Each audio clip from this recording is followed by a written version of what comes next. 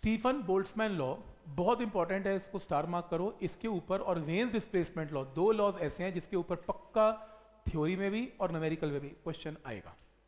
तो क्या टॉपिक है? स्टीफन बोल्ट्समैन लॉ ये लॉ ये कहता है कि अगर किसी भी बॉडी का कोई टेम्परेचर है टी अगर किसी भी बॉडी का टेम्परेचर है टी यानी कि उसका टेम्परेचर ज़्यादा है, या आप इंक्रीज कर दे टेम्परेचर तो वो बॉडी अपने अंदर से एनर्जी को एमिट करेगी, बाहर फेंकेगी।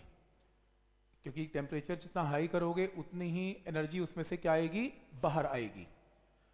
ये लॉ लगाया गया for a perfectly black body और ये लॉ ये कहता है कि किसी भी परफेक्टली ब्लैक बॉडी का अगर टेम्परेचर टी है तो वो परफेक्टली ब्लैक बॉडी अपने अंदर से एनर्जी को एमिट करेगी पर सेकेंड पर यूनिट एरिया इसको एमिसिव पावर बोलते हैं तो परफेक्टली ब्लैक बॉडी की जो एमिसिव पावर है that is proportional to temperature raise to power four उस बॉडी का temperature raise to power four के प्रपोर्शनल होगा। तो फॉर एग्ज़ाम्पल मैं यहाँ पे कुछ रूल दिखता हूँ। आप वो रूल्स को प्लीज़ नोट करें अपने फॉर्मूला बुकलेट के अंदर। तो स्टीफन लॉ के अकॉर्डिंगली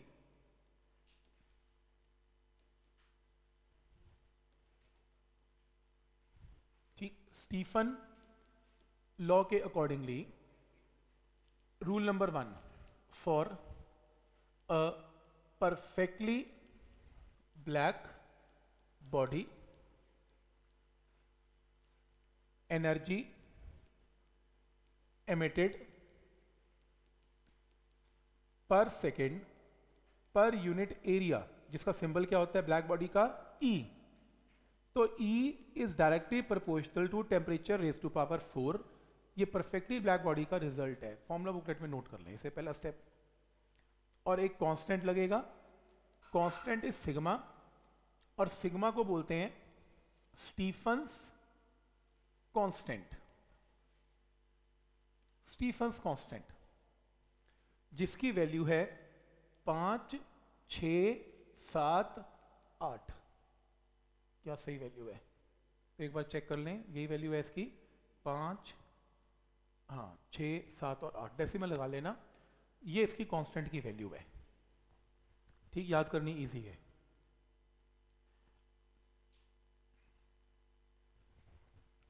ठीक, और ये रिज़ल्ट किसके लिए वैलिड किया मैंने? परफेक्टली ब्लैक बॉडी और कैपिटल ई का मतलब क्या है? Energy emitted per second per unit area क्या स्टेप क्लियर है? अब इमेजिन करें। सपोज़ करो, अगला रूल लिखें इसमें। तो नेक्स्ट रूल के अकॉर्डिंगली जो नेक्स्ट रूल है, उसके accordingly for any body any body का मतलब है जो कि परफेक्टली ब्लैक बॉडी नहीं है नहीं है। उसके लिए हमने एक टर्म यूज़ की थी एमिसिविटी एमिसिविटी का फॉर्मूला क्या था? Emissive power for any body divided by emissive power for a perfectly black body तो एनी बॉडी की एमिसिव पावर क्या हो जाएगी? एमिसिविटी को किससे मल्टीप्लाई करेंगे? कैपिटल ई e से। तो for any body Stefan law अगर लगाना हो तो स्टीफन लॉ ऐसे लगेगा, क्योंकि ब्लैक बॉडी की एमिसिविटी क्या एमिसिव पावर क्या होती है? सिग्मा इन टू की पावर फोर एनी बॉडी का रिज़ल्ट किससे मल्टीप्लाई हो जाएगा? एप्साइलन से। तो जैसे किसी भी बॉडी का जो एमिसिविटी है, वो पॉइंट फाइव है तो result point five perfectly black body की एमिसिविटी क्या होती है? वन तो ये परफेक्टली ब्लैक बॉडी के लिए वन हो जाएगी तो ये कैपिटल ई e हो जाएगा। तो किसी भी परफेक्टली ब्लैक बॉडी के लिए रिज़ल्ट ऐसा लगेगा स्टीफन में, और किसी भी एनी बॉडी के लिए रिज़ल्ट ऐसा लगेगा। तो ये रूल भी क्लियर है यहाँ तक? तो अगर न्यूमेरिकल देखना पड़ेगा कि परफेक्टली ब्लैक बॉडी है या नहीं है अगर है तो ठीक है, नहीं है तो ठीक है। ये भी क्लियर है यहाँ तक? कोई डाउट इसमें।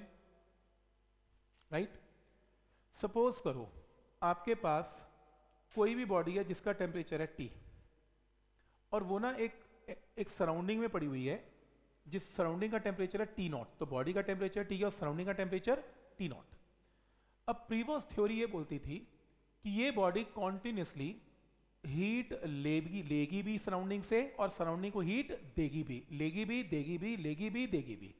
तो कॉन्टिन्यूस प्रोसेस है। अब अगर मैं ये बोलूँ कि मान लो टेम्परेचर टी बॉडी का सराउंडिंग से है तो ऑब्वियसली इस बॉडी में से हीट निकल के कहाँ जाएगा? सराउंडिंग में जाएगी।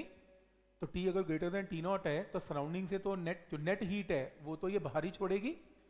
तो अगर ये परफेक्टली ब्लैक बॉडी है, अगर ये बॉडी परफेक्टली ब्लैक बॉडी है तो कितनी एनर्जी एमिट करेगी पर सेकेंड पर यूनिट एरिया इसमें से मुझे माइनस करना पड़ेगा ये टर्म वो क्यों?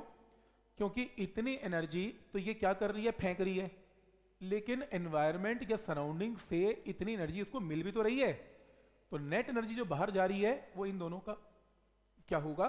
सब्ट्रैक्शन तो यहाँ पे आंसर आएगा E is equal to sigma into T की power four T naught raise to power four ये परफेक्टली ब्लैक बॉडी का रिज़ल्ट है। लेकिन फॉर एनी बॉडी अगर ये परफेक्टली ब्लैक बॉडी नहीं है तो इसको रिज़ल्ट को किससे मल्टीप्लाई करना पड़ेगा? एमिसिविटी से मल्टीप्लाई करना पड़ेगा तो ये रिज़ल्ट आएगा। कोई डाउट इसमें? तो रिज़ल्ट में क्या आएगा? स्मॉल एमिसिविटी आ जाएगी। तो जब ये न्यूमेरिकल आएगा, आपको गिवन होगा परफेक्टली ब्लैक बॉडी है या नहीं है? और अगर मान लो क्वेश्चन में मेंशन नहीं है कि परफेक्टली ब्लैक बॉडी है या नहीं है तो प्लीज़ उसे perfectly black body by default choose कर लें। जिसकी मिसिविटी नहीं गिवन तो उसकी वानी ले लेनी है बाय डिफ़ॉल्ट बात ही खत्म। पूछना नहीं कि सर ये परफेक्टली ब्लैक बॉडी है कि नहीं है, फिर वो परफेक्टली ब्लैक बॉडी है, बात ही खत्म। तो फॉर्मूलाज क्लियर है स्टीफन लॉ के सारे? ठीक? और लास्ट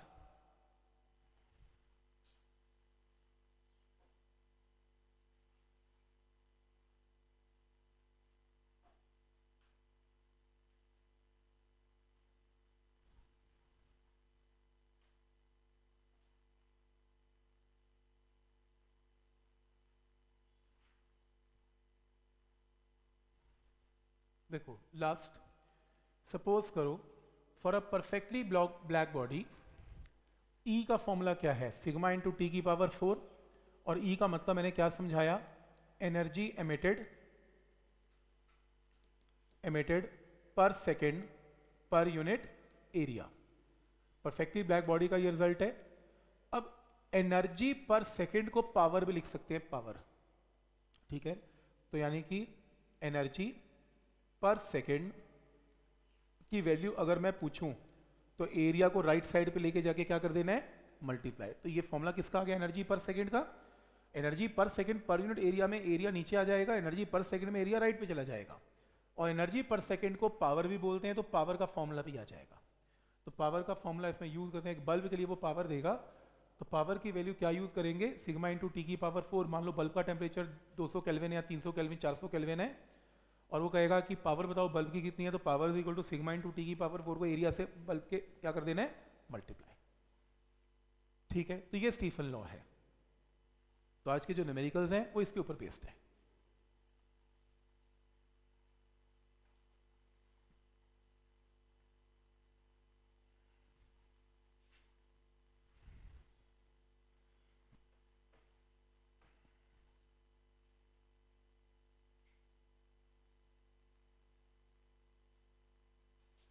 ठीक है यहाँ तक? तो ये देखो, इसमें क्या लिखा हुआ है? Stefan law law states that the total heat energy emitted by a perfectly black body लिखा हुआ है for a perfectly black body ज़रूर लिखने डेफिनेशन में पर सेकेंड पर यूनिट एरिया जिसको मिसिव पावर बोलते हैं capital E is directly proportional to the fourth power of absolute temperature of it surface तो बिल्कुल ठीक लिखा। ई e का मतलब energy per second per unit area for a perfectly black body is directly proportional temperature is to power four और साथ में constant को क्या बोलते हैं? स्टीफन कांस्टेंट फिर इसने कहा कि सिर्फ़ एनर्जी पर सेकंड की वैल्यू निकाल। लो तो एनर्जी पर सेकंड को पावर बोलते हैं। पावर को इसने एच से रिप्रेजेंट किया। एनर्जी पर सेकंड पर यूनिट एरिया को एरिया से क्या किया?